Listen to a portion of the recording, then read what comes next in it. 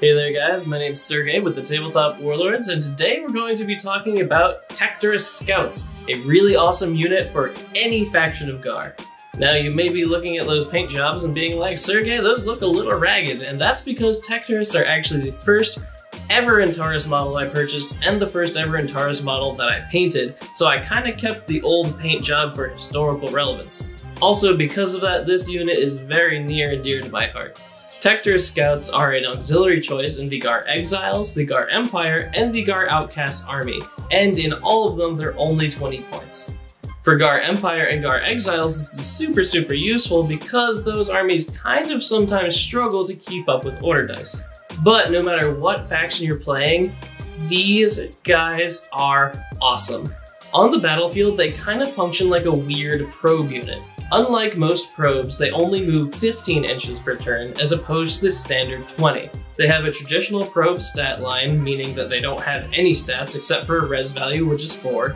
They have scramble proof, making them immune to a lot of the special weapons used by pan-human armies, and each individual model has the leader special rule, which makes them able to re-roll res tests.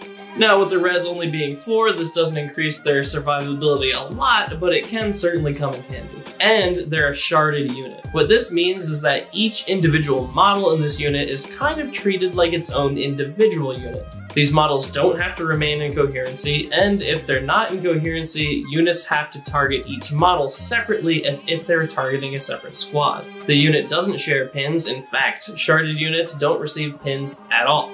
Additionally, these guys completely ignore difficult terrain, so they're super duper mobile. However, they cannot charge and they cannot make any action ever other than just a regular old run order. However, you don't need any actions when you're armed with the almighty Tector Rod. Each Tectorist is armed with a Tector Rod, which has a super interesting effect. When a friendly Ghar unit targets an enemy unit with a shooting attack, and there is a Tectorist within 15 inches of the targeted enemy unit, the shooter gets a reroll as if they had a spotter drone. This is a big deal with Ghar because most of their units don't have that many actual shots coming downfield, so you want to make sure that you're making contact every time you shoot. And if you're running Ghar Outcasts, which do have a lot of volume fire, you will probably also be running a couple of Plasma Lances, which makes this reroll invaluable. Now let's put on our cost analysis hats and think about just how cost effective this unit is. Most armies in order to get a reroll in the shooting attacks must spend 10 points per unit. Ghar only have to spend 20 points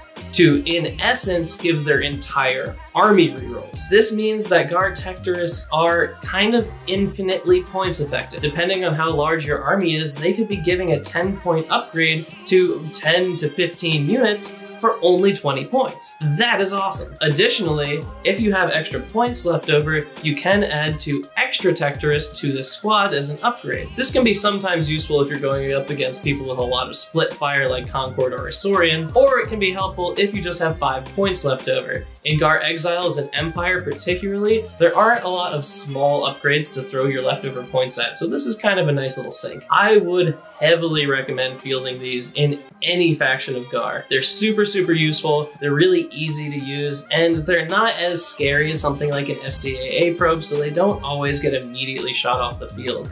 They're just super, super useful. And they're only 20 points. I mean, you may as well. Honestly, most of the time you're gonna have like weird points gaps when you're using big units anyway. So these guys are the perfect way to fill those gaps. Now, from a hobby perspective, I'm gonna be honest here, these are the models that made me fall in love with Gates of Antares. They're just really weird. They're kind of like old man on the beach with a metal detector meets evil space goblin. And how could you ask for a better combo? Whenever I see them, I just always imagine like an elite Concord soldier stalking through the jungle with a plasma lance, and then all of a sudden a Tectorist pops out of the woods and like waves a metal detector at him. He's like, we've got him guys, fire down range. I just love the weird kind of goofy personality that these guys have, especially when they're in an army that also has a lot of like kind of stark, very serious looking units. It's kind of cool to have almost an army that has like a really badass core and then like a little bit of comic relief on the side. Additionally, they give the Ghar Empire a nice opportunity to break up the stark colors that they have with a little bit of flesh tone,